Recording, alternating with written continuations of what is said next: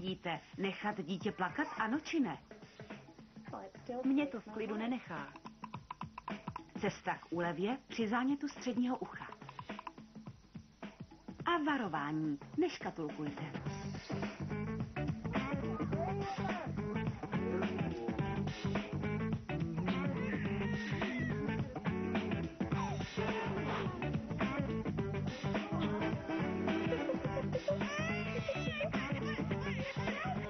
Max uvádí epizodu z kanadského seriálu Rodičovská škola. Vítejte v rodičovské škole, zdraví vás Dave. Spolu s Ramonou dnes pořádáme piknik. Když jsme na pikniku, dostaneme něco k snědku? A proč pak ne?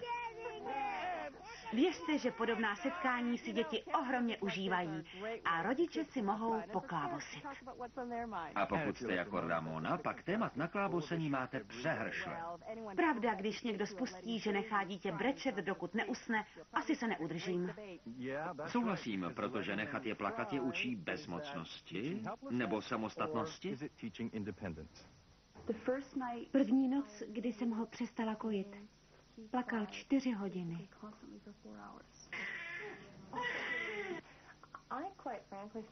Osobně to pokládám za násilí. Násilí na bezmocném tvorečkovi. Příští noc plakal tři čtvrtě hodiny. Nechápu, jak je někdo podobné věci schopen. Jako rodiče máme stejný cíl, spící dítě. Ale, ouha, shodneme se na tom, jak jej dosáhnout? Má smysl je nechat vyplakat? Představte si, že vedle v pokoji vzliká kamarád, sourozenec, kdokoliv, a vy zavřete dveře, odkráčíte a řeknete si, jen ať se otrká. Mě to v klidu nenechá. Děti, aspoň podle mé zkušenosti, se nerodí s návykem chodit spát. Jde o návyk, který rodič musí pomoci u dítěte rozvinout. Pokud mám dítě naučit spát a obnáší to pláč, snesu i jeho pláč. Děti se samozřejmě nerodí se spánkovým režimem dospělých. Představme si spánkový cyklus jako jízdu výtahem. Dospělý za noc projde několika etapami lehčího spánku, aniž se vzbudí. Když se ze spánku vytrhne dítě, pak i úplně.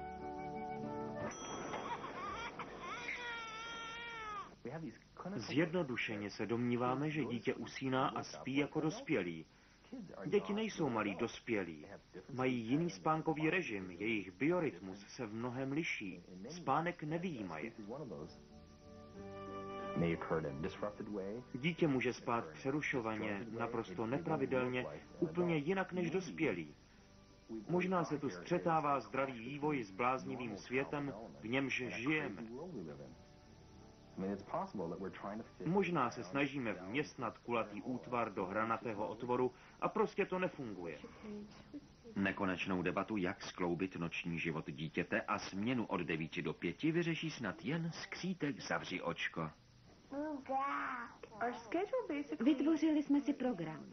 Kejla chodí spát v sedm, Morgan o půl osmé. Budí se ráno kolem čtvrt na sedm, půl sedmé. Oba chlapci od věku osmi týdnů prospí celou noc. Přestala jsem je v noci kojit. Morgan se první noc vzbudil ve tři ráno, chtěl nakrmit a rozplakal se. To trvalo až do sedmi, kdy přišel čas krmení. Plakal tedy bez ustání čtyři hodiny.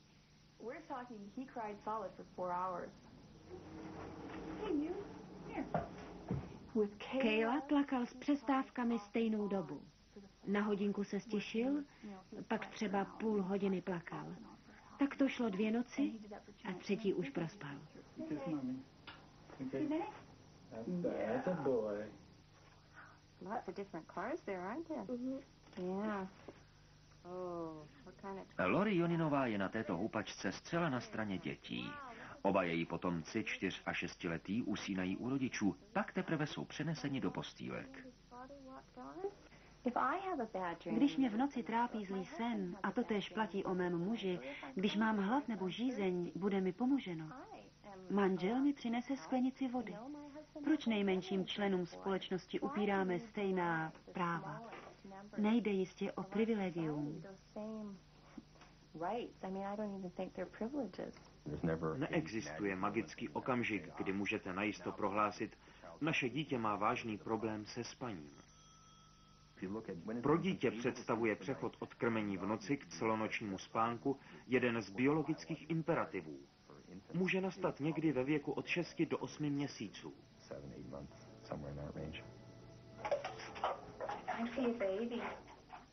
Malá Emma spala do svých šesti měsíců u rodičů. Následující měsíce Heiser Kleinhausová protrpěla noci odbíháním k Emině postýlce. Ve 14 měsících se manželé shodli, že se musí něco změnit. Moc krát jsem to vzdala. Nevydržela jsem poslouchat, jak pláče.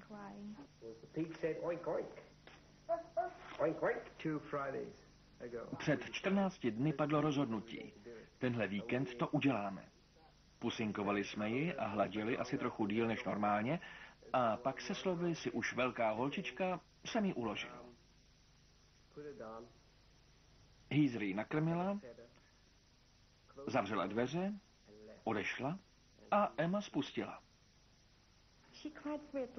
Plakala nejmíň hodinu, než se uklidnila. A další hodinu a půl kolem jedenácté. Pak se vzbudila jako obvykle ve dvě, ale pláč se s každým probuzením zkracoval. Následující večer trval jen půl hodiny a den poté asi 15 minut.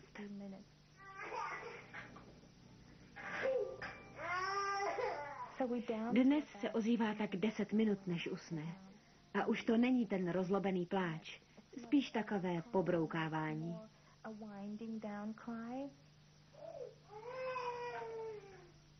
Ví, že jsme poblíž.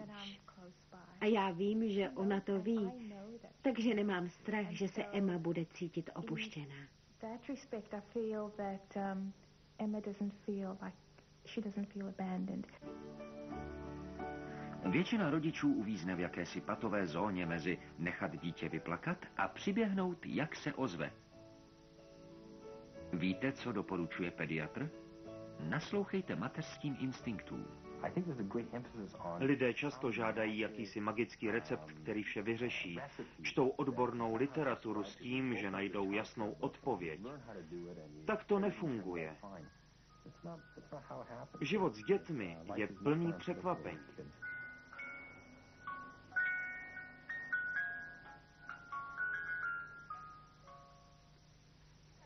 Podle pediatrů, když se dítě mladší 6 měsíců v noci budí, chce nakrmit. Další nespavé období nastává mezi rokem až 14 měsíci. Tehdy na dítě zvlášť doléhá fyzická nepřítomnost matky, tudíž si žádá trochu více pozornosti a extra mazlení. I když děti povyrostou, názory a řešení ohledně spaní se liší. Wendy Ferová píše, do tří dnů, co jsem synovi přestala vařit hovězí, noc prospal a v tom pokračuje. Shirley Dorziová Seldergrove navrhuje zácpa. Poloha na polštáři místo zcela rovně. Může dítěti působit zažívací potíže, proto neusíná. Dalším důvodem bývají roupy, šimrají a dítě budí. Zdraví jako rybička. Připadá vám, že vaše dítě trpí častými záněty středního ucha? Anu Grace a Karla Hermansovi trápí chronické záněty od malička. První se u dvojčat ozval ve čtyřech měsících. Doléhá to na celou rodinu. Děti jsou přecitlivělé, nikdo se pořádně nevyspí, protože se stále budí. Oč vlastně běží? Eustachova trubice spojuje hltan se středním uchem. U malých dětí je široká a krátká a takřka v jedné rovině s hltanem. Bakterie a výměšky se tudíž snadno dostanou až do ucha. Když Sally pochopila, jak infekce vzniká, přistoupila k prevenci. Přístroj, pohlcující prach a jiné alergeny, krmení v sedě a extra polštářky pod hlavu. To vše pomáhá předejít zánětu. Nabízeli mi, že jim nasadí slabší antibiotika nebo do uší nastrkají hadičky. Ani jedno se mi nelíbilo. Karlovi nakonec do uší operovali dreny. Snad jsme měli štěstí. Karlovi to zjevně prospělo. Dobrá zpráva zní, že s věkem se Eustachova trubice zužuje a svažuje dolů, takže dítě z obávaných zánětů nejspíš vyroste. Nálepka na obalu charakterizuje obsah. Nálepkováním či škatulkováním u dítěte lze dojít i dál. Obsah přeturčit. Ta slova z nás padají sama. Zlobivá holčička, chytrej kluk. Hodnotím je, ale myslím, že neškatulkuji. Upozornit mě ale někdo dáváš mu nálepku, asi bych se s ním nehádala. Jako dospělí rádi klasifikujeme v domění, že tím se věc vyjasní. Jak ale dítě obdaříte nálepkou, hrozí stotožnění.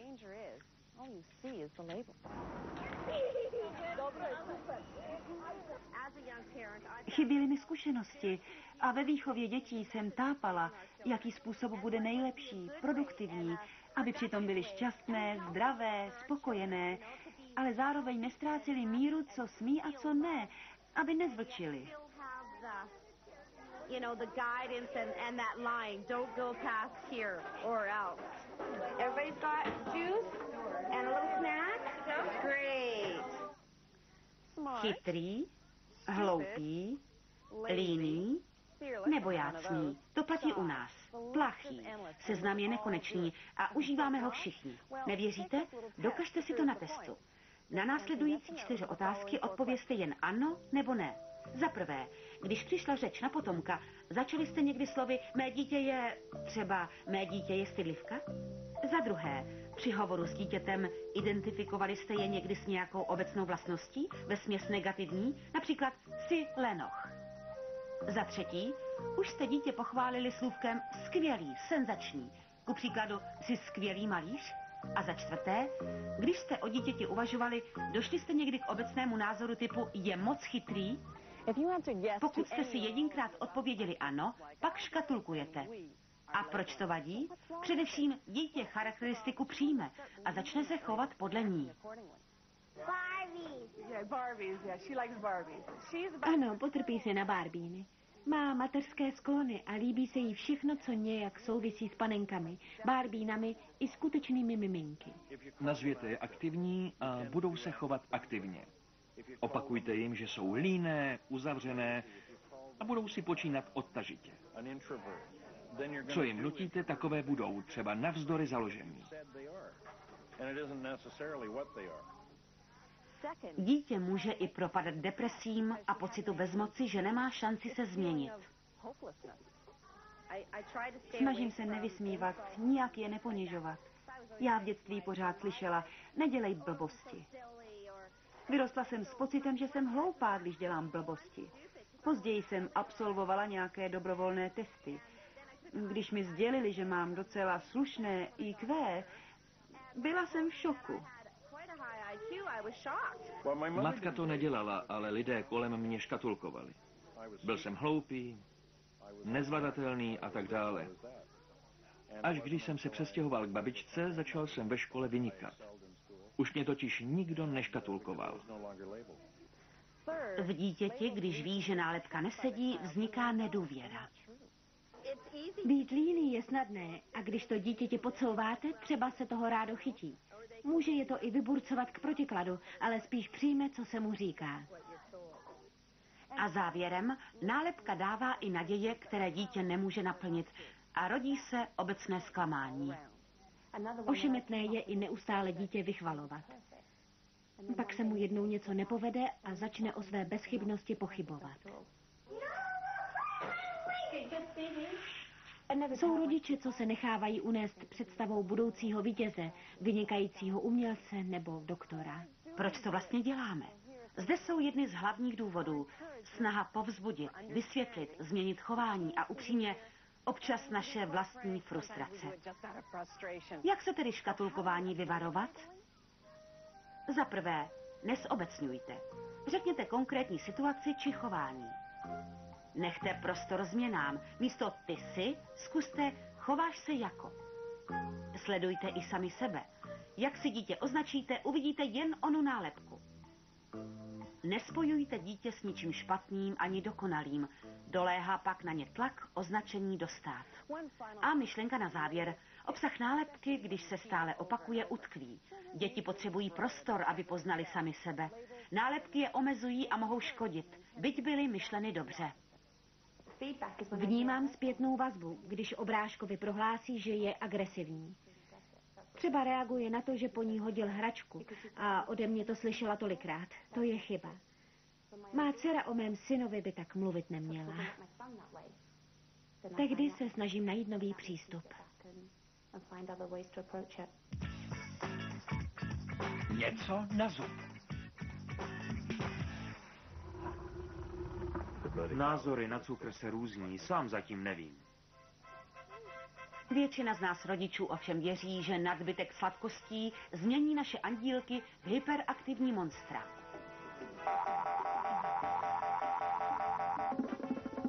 Také, že přemíra dobrůtek jim vezme chuť na výživnější stravu. Nicméně prozbě o sladkost se čas od času nevyhnete. Zakázat je doma znamená zbavit se jich jen a pouze doma. Děti se ocitají v různých prostředích a cestu k bombónu si najdou. Z občasného mlsání bychom tudíž neměli dělat vědu.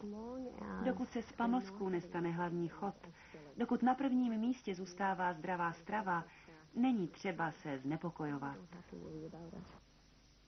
Podle doktorky Rony Gordonové, matky čtyř dětí, sladkosti v rozumné míře neškodí. Straší-li vás prázdné kalorie, skažené zuby či hyperaktivita, dohlížejte na jejich stravu a dejte jim vybrat. Obvykle jim jako náhražku nabízíme džus, aby dostali cukry raději v přírodní než umělé formě. V otázkách sladkostí, poslušnosti či chození spát se rodiče často střetávají. S nás dítě vychováte, když se sjednotíte. Jak vás ale přesvědčí následující pár, záleží na osobní zkušenosti. Myslím, že právě v otázce výživy vězí nejkřiklavější rozdíl mezi kanadským, tedy mým přístupem, a anglickým, který zastává Tony. Lidé vnímají věci typu čokoládový dort jako něco takřka obscénního. Pozřít ho je skoro hřích, se kterým je lépe se tajit. Ale přitom je to jenom dort.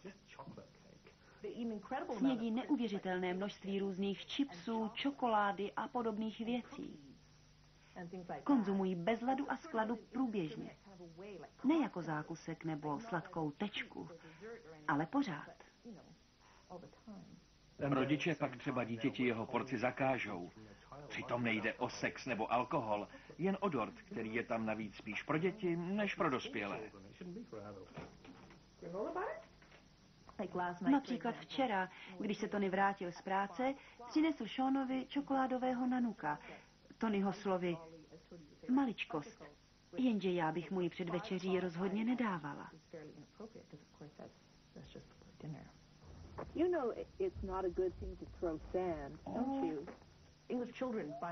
Anglické děti obecně jsou mnohem disciplinovanější než kanadské.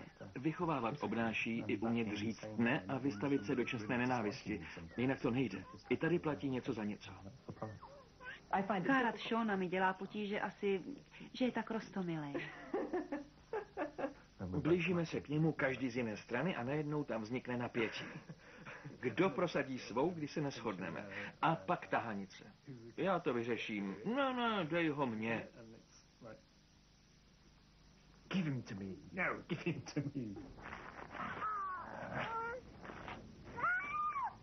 Uvědomuji si, že si v reakcích nesmíme odporovat.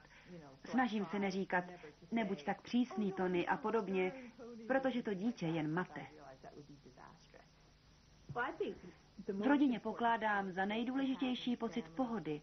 Proto se nijak zvlášť nezabývám drobnými neschodami a nedělám vědu z věcí, které si to nezaslouží.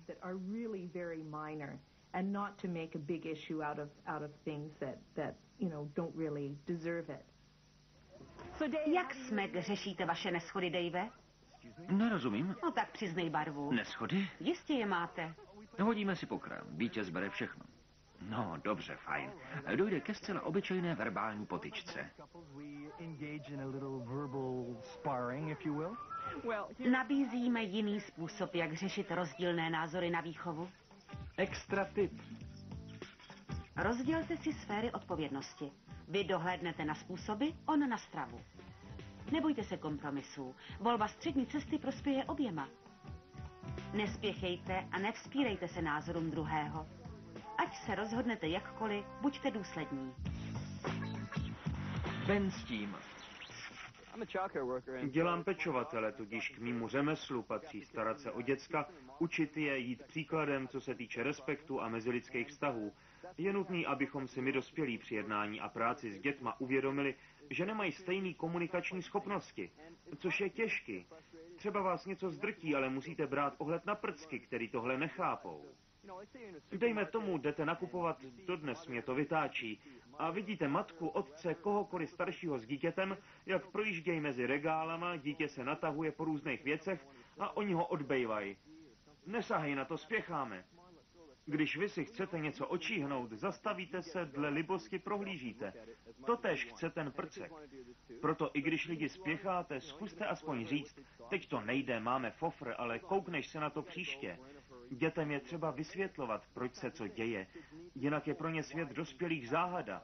A je to i o respektu, jak se přehlížíme nebo si vycházíme vstříc. A dnešní pořad se už pomalu chýlí ke svému konci. CBC-TV, Box 4600, Vancouver, BC, V6B4A2. And if you have your portable fax and cell phone with you, that number is 604-662-6197. And our email address is stillmilk at vancouver.cbc.ca. Pikniky jsou fajn, ne? Eh? Všude kolem lítá jídlo, děti samá šmouha, bubliny a vám je všechno jedno. Fajn, když nemusíte mít oči na šťopkách. A co se týče šmouch, Dave, přistáli ti na košili bubliny. O oh, ne, má oblíbená košile. Šuníku. Já? Ahoj, příjemné pikniky.